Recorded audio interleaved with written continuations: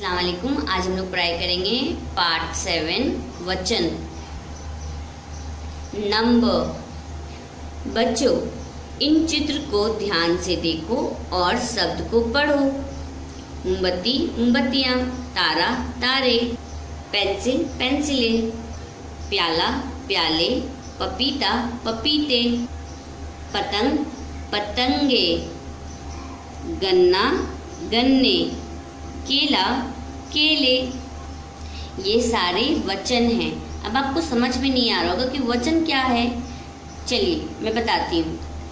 शब्द के जिस रूप से अनेक या एक होने का बोध होता है, उसे वचन कहते हैं। शब्द के जिस रूप से पता चलता है कि वो एक है या अनेक है, उसे ही वचन कहते हैं। अब आपको समझ में नहीं आ रहा होगा कि वचन कितनी तरह के होते हैं तो वचन के कितने भेद होते हैं। चलिए उसके बारे में पढ़ते हैं। वचन दो प्रकार के होते हैं। एक वचन, बहुवचन। जिन संज्ञा शब्दों से एक होने का ज्ञान हो, वे एक वचन। जिन शब्दों से पता चलता है कि वो एक है तो वो एक वचन कहलाता है। तथा जिन से एक से अधिक होने का ज्ञान हो, वे बहुवचन कहलाता है। और जिनसे हमें पता चले कि वो एक से अधिक है तो वो बहुवचन कहलाता है। चलिए एग्ज़ाम्पल से समझते हैं। जैसा कि हम लोगों ने ऊपर में आपने देखा और पढ़ा है जैसे कि गन्ना, गन्ने एक है तो गन्ना और अनेक है तो गन्ने। वैसे ही एक मोमबत्ती और अनेक मोमबत्तियाँ, एक तारा और अनेक तारे, एक पेंसिल, अनेक पेंसिलें, केला, केले, पपीता, पपीते, प्याला, प्याले, गन्ना, गन्ने, पतंग, पतंगे। चलिए कुछ और एग्ज़ाम्पल से समझते हैं। एक वचन, बहुवचन, नदी, नदियाँ।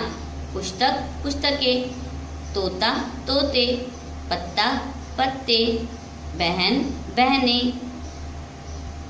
बोतल, बोतलें, ताला, ताले, मटका, मटके एक वचन बहुवचन, मिठाई, मिठाइयाँ, गुड़िया गुड़िया, कहानी, कहानियाँ, मक्खी, मक्खियाँ माता, माताएँ। साड़ी, साड़ियाँ। माला, मालाएँ। सभा, सभाएँ। ओके, कुछ शब्दों के एक वचन व बहुवचन समान होते हैं। एग्ज़ाम्पल जैसे, समाचार। साधु। छात्र। इन शब्दों को बहुवचन बनाने पर गण विरंद। शब्द अदि जुड़ जाते हैं, जैसे साधु गण छात्र विरंद, अदि। याद करो, नंबर, वचन। सिंगुलर नंबर, एक वचन। प्लुरल नंबर, बहुवचन। मैनी, अनेक।